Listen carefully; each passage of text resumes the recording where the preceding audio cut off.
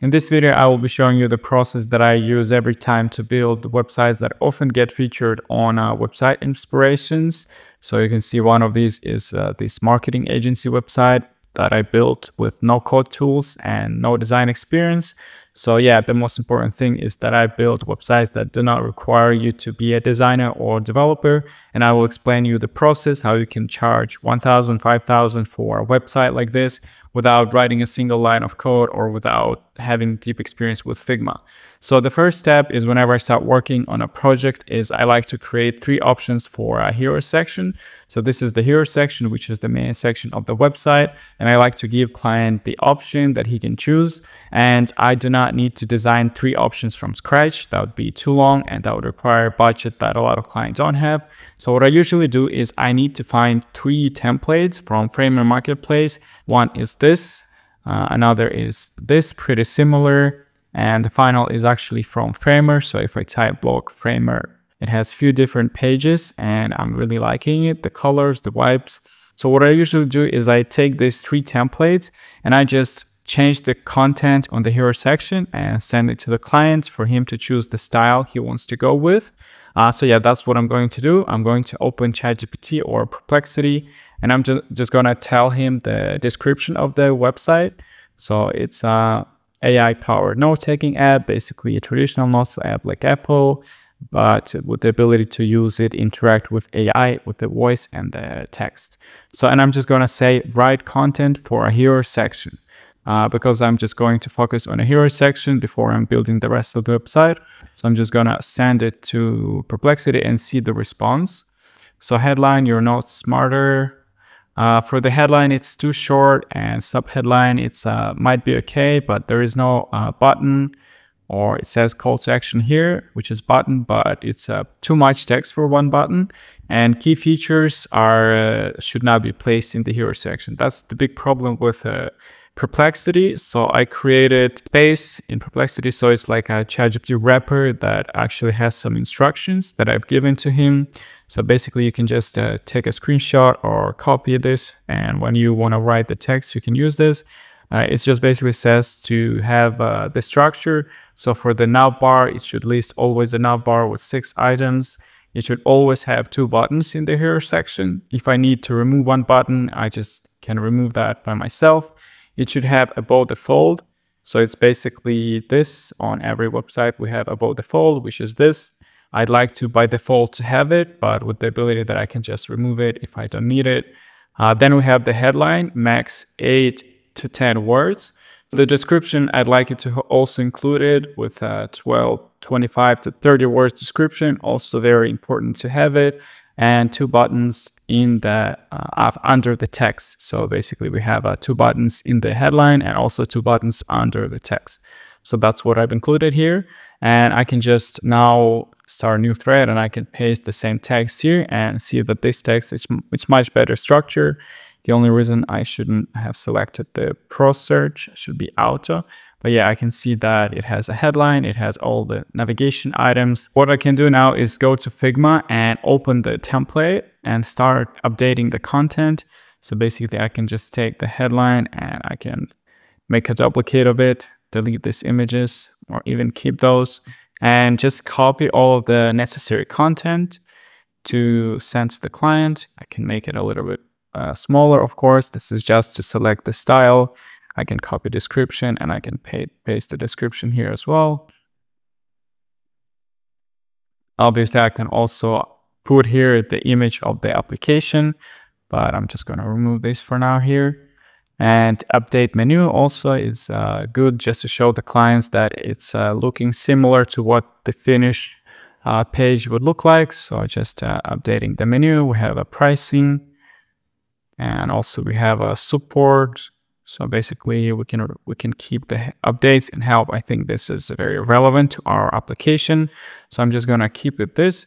So this would be the first option that I would send to the client. Obviously, I think that I might ch change some options, spend like 10 to 20 minutes to working with the images that the client has.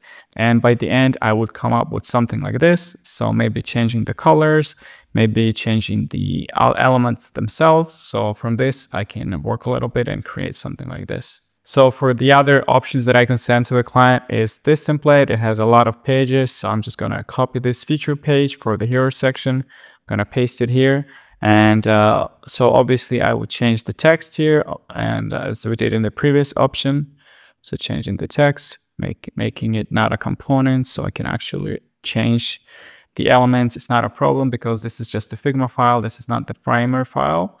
Uh, yeah, and as I mentioned, the best thing about this is it's already built in Framer. So once I've changed the text, once I made all the necessary changes, I can just then bring it over to Framer and it's already optimized for mobiles. It's adaptive. It has all the components and stuff like that. So it's very easy and very fast for me to bring it over to Framer without hiring a developer or without developing myself, but at the same time charging the client for the whole process, for the design, development, and uh, actually bringing the result much more faster than what I would did if I try to build it from scratch.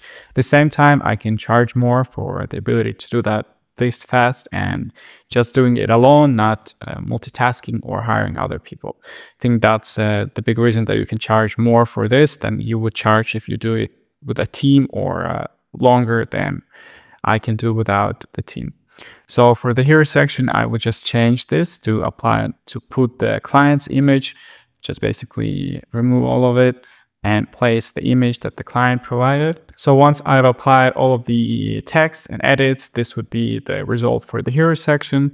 Basically the image of the application. We have the text, the buttons, we have the features here at the bottom, and all of them are related to the project. So audio notes, AI assistants, organizations.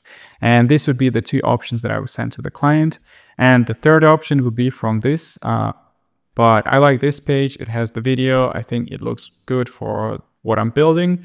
So I'm going to take also this option, maybe add a little bit a little bit more color to this page. So I'm going to show you how I later use these icons to make them more colorful and to make them stand out more so it doesn't look that bland. And for this hero section, I'm just going to use a Framer to Figma plugin and I'm going to change the colors. I'm going to change uh, the elements and this is the result that we would have. So obviously it looks a little bit different. So for the color, I don't really like this gradient. So I'm going to update it very quickly. I like this gradient more. So I'm going to create new style, just give it a random name and then select all of the elements with this gradient here and update it. So it looks much better. I'm just going to select and select this gradient that I just created. I think this looks much more closer to what the client has. Maybe I can, uh, you can see it's uh, not very good positioning. So I can unselect it and make, make it a little bit more uh, better. So maybe the same here. I don't like the transition here. So I'm going to select it and maybe move it a little bit like this and do the same here.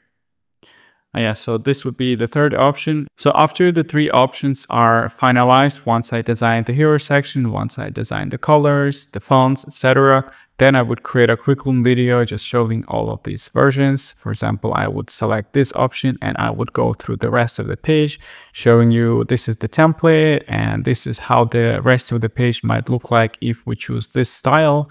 Then I would do about this page. Would go and I'd say, so the, uh, this is the template, the original, and this is what the page might look like if we select this style with all of these elements and with all of these interactions. So we would keep them if the client choose this style. And obviously I would choose this style as well and select. And I would also record a video about this style and show how the website might look like if we select this style. Um, yeah. After the client selects one, let's say the client likes this option more, then I would build everything in Figma. Once again, sometimes I would go straight in Framer. So once the client chooses this template, I can then just basically add the colors, add all of the elements in Framer without building in Figma.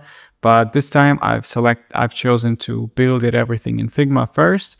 So we have everything uh, figured out before I build it. Depending on which version client selects, I can after that go straight into Framer and build everything there. So let's say for this option, client chooses this middle option. I would go to Framer and start building it from there. And that's straightforward from there. It's uh, very easy to build everything. So that's what I did. If I go to here, we can see that this is already built in Framer with uh, the rest of the sections. So if I can preview it, we have some animations when appearing.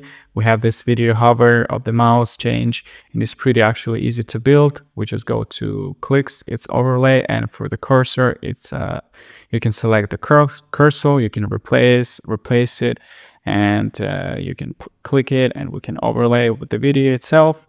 And then we have the section with the feature of the app. So basically some of the description, and if I can show you the animations that we have here. So you can hover and you can see the animations of the gradient here. You can see the animation here when you will click on the watch video as well. The same thing is here. We can see more features. Uh, this section that you've seen from the template, just changing the text, changing some icons to be similar to the content that we're working with. So this is the icon that you saw on the other page that I've redesigned to have more colors, to have more of them popping up not just a black color, which is a little bit bland. So then we had this section, which is redesigned. Uh, was this section. I obviously it wouldn't work for the note-taking app, so I had to redesign it a little bit. I had to create it in Figma, and then I had to just export it and put into Framer here. So then we have much more. So pretty much similar to the section, just changing the content and changing the images. Uh, coming soon section, also the section that was already pre-built. We have pricing here as well that you can hover over the elements and freely ask questions and further. So this is the process that I do every time I build new websites. If you liked it, leave a like and subscribe.